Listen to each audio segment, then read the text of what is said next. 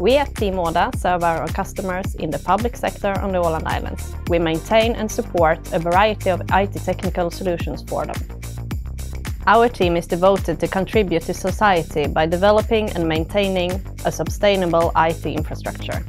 With us, you're going on a journey from ground to cloud, from a variety of technical solutions to standardized and streamlined technical solutions. Today we work in mainly a Windows environment, but we also work in Linux and ICE areas.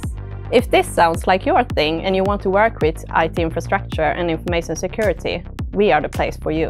Take the opportunity to be a part of GritLab, and we hope we'll see you in the future in our Team Åda.